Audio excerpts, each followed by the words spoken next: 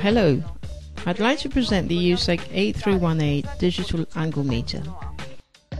This angle meter allows you to carry out angular tightening with digital precision and in a way that is much simpler than traditional mechanical angle meters.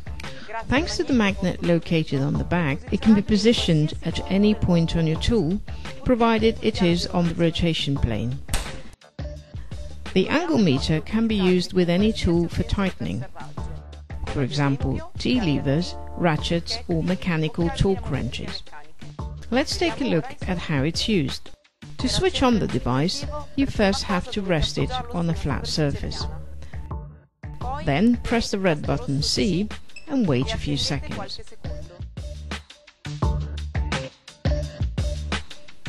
When the setting of the device is complete, the display will show the last angle set.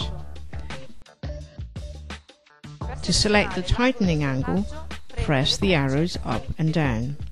For example, let's set an angle of 90 degrees.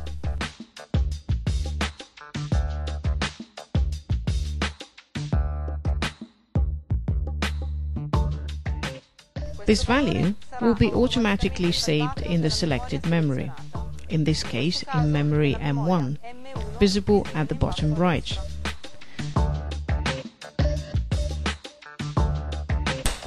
Position the angle meter on your tool. To start tightening, press the yellow button.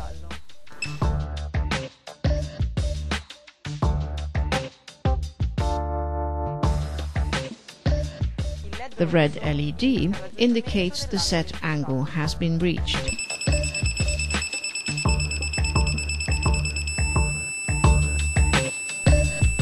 Flashing display indicates the effective angle reached. To memorize this value, press the button M. To carry out a new tightening, press the yellow button.